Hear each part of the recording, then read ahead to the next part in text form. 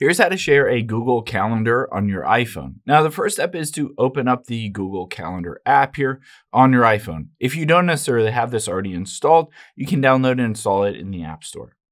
Now, I'm going to walk you through one option to share a specific event as well as an entire calendar. So at the bottom right, let's tap on plus here and we'll tap on event. And let's say I'm going to just say go shopping. And on this, you can see all day. I'm going to choose Monday, January 6th at 12 o'clock. Now, if I wanted to share this specific event with someone, I can just hit add guest here and it'll auto populate with various people. I can also just search for people or manually type in their email address. I'm just to tap on someone and hit done. Now, okay, it says me and this other person are invited and added to this calendar event. I can go down and add a location, color, I can have a description, all sorts of different things here. And then when I'm ready, I can just hit save at the very top.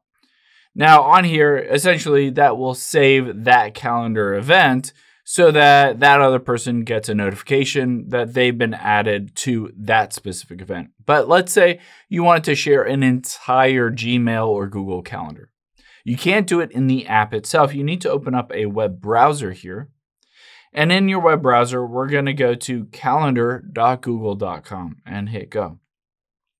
Now, once we're in the calendar on the mobile phone here on your iPhone, you can see at the very bottom is desktop. So we want to tap on desktop here to get the desktop version of your Google Calendar. You need to get the desktop version. And at the very uh, left-hand side here, you can see my calendars and there's my Gmail calendar.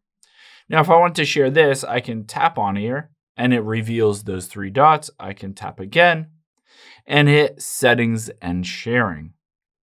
Now, finally, we're in the settings here. I can scroll down here and it says share with specific people or groups. You can see here is I'm the owner. I can hit add people and groups. And again, you can start typing in anyone's name, email address here, and then you can set the permissions. Whether you want to allow them to just see the events or maybe you want them to edit them, you have full control over how they can interact with your calendar.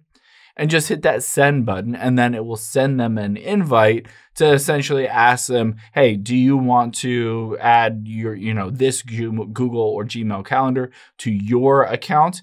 And they can hit yes, and then they'll pop up right here as added to your specific Google or Gmail calendar. I hope this helps. If it did, hit the subscribe button down below. Really helps me out. Thanks, guys.